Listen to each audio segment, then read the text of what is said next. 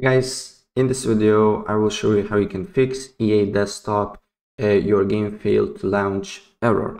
So the first thing what you need to do here, you need to open up your EA app. And then what you need to do here uh, on the top left corner, you should see three little lines here. So you need to press on that. You then need to go to, as you can see here, uh, help. And then you just need to press app recovery. And once you do that, you need to just press uh, clear cache and restart your app and then you need to look if the problem persists or not. And if the problem persists then another thing that you can do here uh, then you need to go to your disk where you install the app.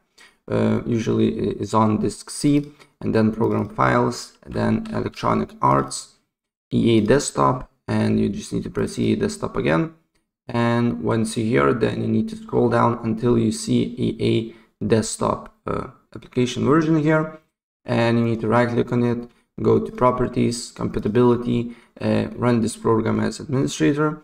And once you do that then you need to right click again show more options. And then you need to press send to and to your desktop. And it will create a shortcut here and if we run it here as you can see here it runs perfectly fine. Right so that's pretty much it. And if i help you out please press like button and subscribe for more. Take care. Bye